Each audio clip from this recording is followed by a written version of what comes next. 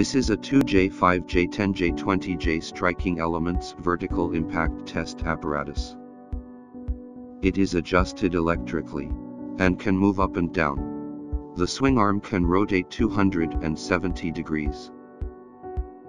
The suction device of this impact element can be moved back and forth to contact different samples. First, place the sample on the plastic plate of the standard test bench.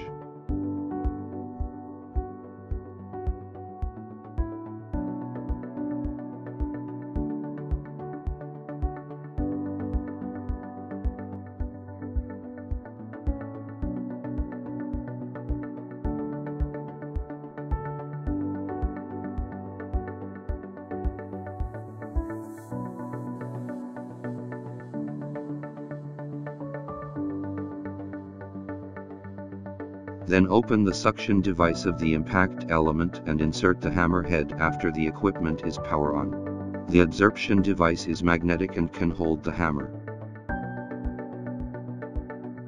Next install the pendulum tube.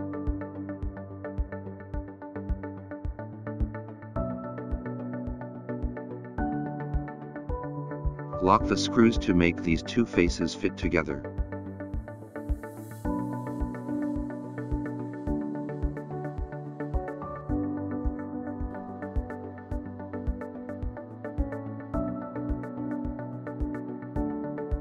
Press the down button and descend until the pendulum tube just touches the sample.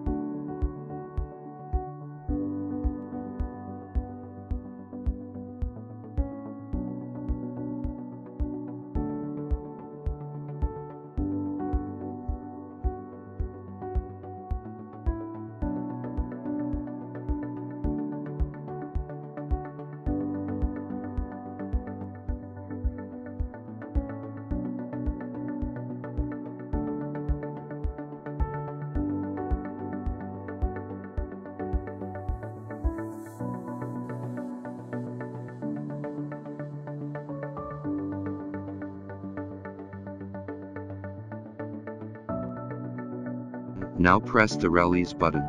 The hammer head impact the specimen vertically.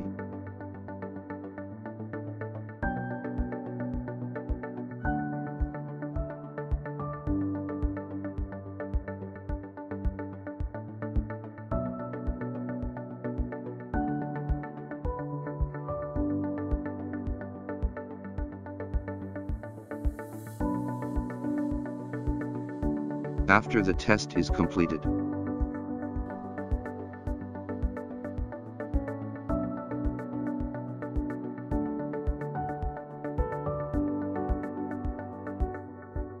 press the up button.